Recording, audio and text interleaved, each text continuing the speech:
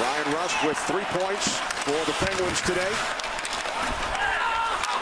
Nick Guentzel with a pair, and now an injured capital. It is Nic Dowd.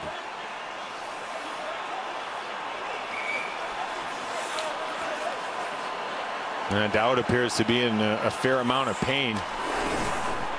As Ruhwedel and Dowd get tied up. Oh, it's Crosby that seems to kick the legs underneath is what I saw. I have to take a look one more time. They're calling Ruhwedel, but I'm going to agree with you, Brian, in this one. Sidney Crosby's right leg is going to engage with the left side of Nic Dowd's body. Right uh, stick is there by Ruhwedel, but to see the skate from Crosby come in.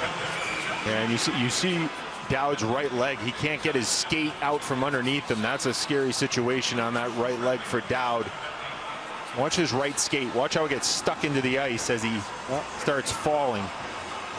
Oh, man. Yeah, that's, that's not, not good. good. Nope. Ruhwedel to the box.